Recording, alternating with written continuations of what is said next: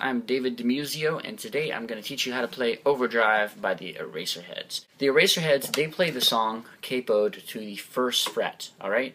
So, I'm not going to teach, you with the capo, though. I'm going to teach it without the capo, alright? It's just easier for you. But if you want to play along with the Eraserheads, just play all these same chords, capo to the first fret, alright? So, here's without the capo. You're going to start on a G, and the verses go like this. G, and then a D chord, regular D chord, but instead take your thumb around and hold down the second fret at the low E string, right there, okay? And mute the low A string. So it sounds like this. And that's a D over F sharp, which is a D chord with the F sharp in the bass, okay? So it goes G, D over F sharp, and then you play an E minor chord. E minor chord like that. But you can play an E minor seventh if you want to, and I think it sounds a little bit better.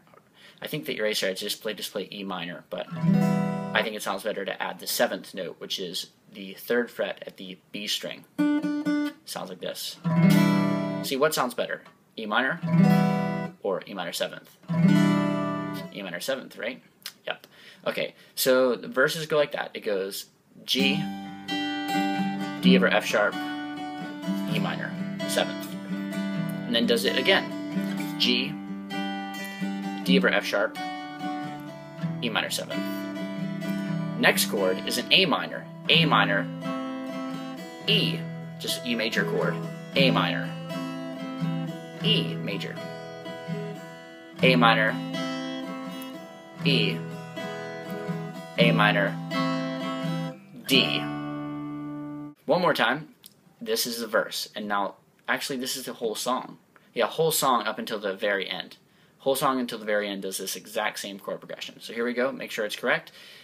G, D over F sharp, E minor seventh. Again, G, D over F sharp, E minor seventh.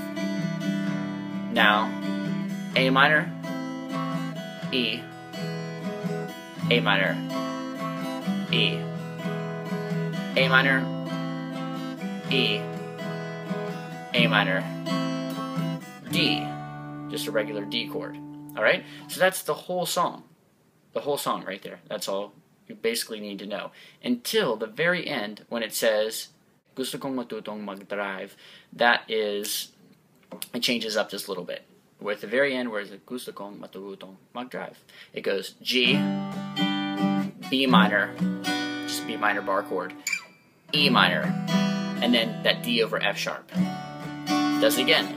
G, B minor, E minor, D over F sharp. And keeps on doing this until when it goes